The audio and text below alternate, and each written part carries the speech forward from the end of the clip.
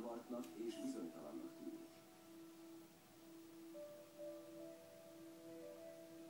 Nagyon megsajnáltam. Mi van? Na mi van?